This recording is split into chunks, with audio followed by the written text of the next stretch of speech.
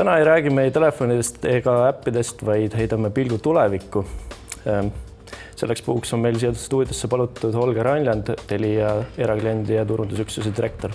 tere, Holger. tere. räägi, mis oli sinu jaoks viimane selline võimsam äh, digimaailma läbimurre?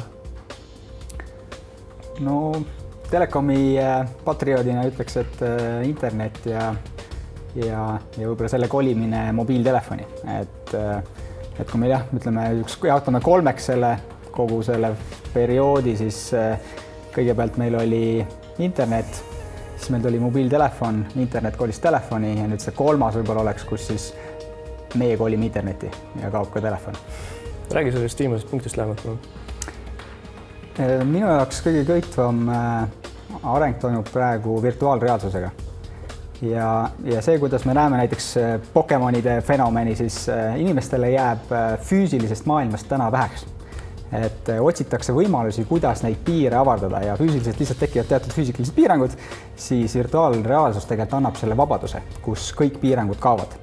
kui me täna näeme jah, et, et me otsime selliseid virtuaalreaalseid mehikesi siin maailmas taga, siis ma arvan, et see on üks väike kübe ja esimene pisikene samm tegelikult, mis kõik on võimalik ja, ja, ja sellesama füüsilise maailma piiranguga äh, nüüd see järgmine samm sinna virtuaalsesse maailma tähendab seda, et, et üks hetk me võib-olla elamegi selles virtuaalses reaalses maailmas ja, ja noh, täna juba me näeme igasuguseid õnnetusi ja asju, kus inimesed ei saa enam aru, kas nad on nagu tegelikus maailmas või virtuaalses maailmas, siis ma arvan, et see tuleb päris kindlasti üks hetk, kus inimesed enam ei suudagi seda eristada.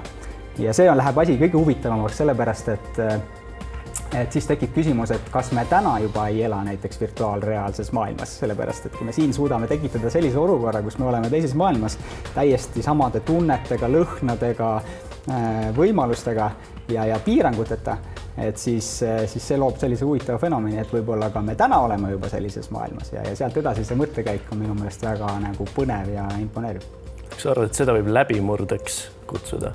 Absoluutselt. mitte selle... teel juba millegi süngema poole nagu sellega. ei, miks, miks selles mõttes, et kui me võtame, et tänane maailm on näiteks virtuaalreaalsus, siis mis siin süngeta on, see on ju ülilahe onju. ja kui me lähme nüüd järgmisele tasemele, kus meil muutub piirangute vabaks seesama asi, siis aina lahedamaks see muutub, et.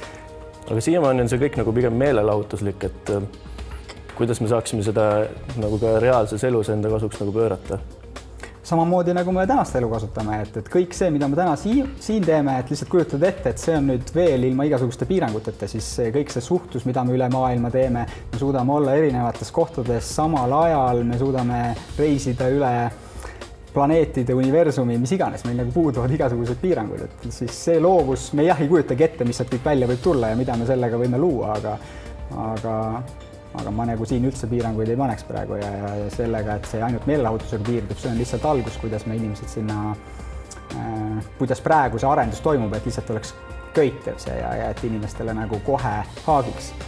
aga lõpuks see areneb, ma arvan, täiesti omasoodu, kus, kus tekivad ka kõik muud komponendid juurde, mis lõpuks ongi meie siis reaalne elu. kui jätta nüüd see virtuaalreaalsus kõrvale hetkeks, et äh, mis sinu arvates veel on sellist äh, tugeva, tugeva sellise tulevikupotentsiaaliga hetkel? no mis ma näen nagu selles reaalses maailmas, kus me täna oleme, siis mis äh, täiesti murranguliselt muudab kogu seda ühiskonda ja, ja elukeskkonda ja, ja sellist nagu maailma juhtimist ja riike ja on minu arvates äh, see krüptoraha initsiatiivid praegu.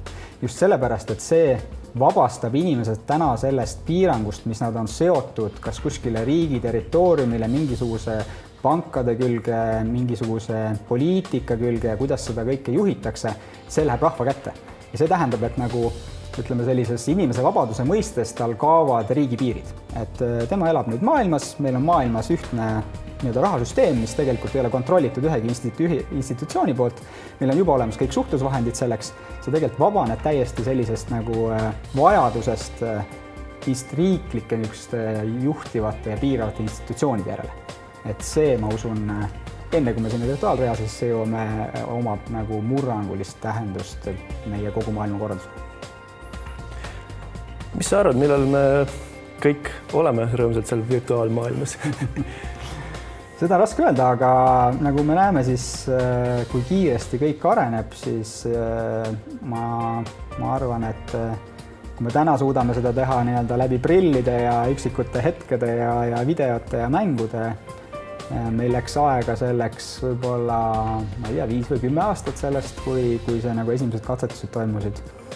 ma usun, et paarikümne aasta pärast võib juhtuda, et mingi osa elanikkonnast ei suuda enam eristada näiteks, kas ta täna ärkas siin äh, filmis või ta ärkas äh, mingis muus maailmas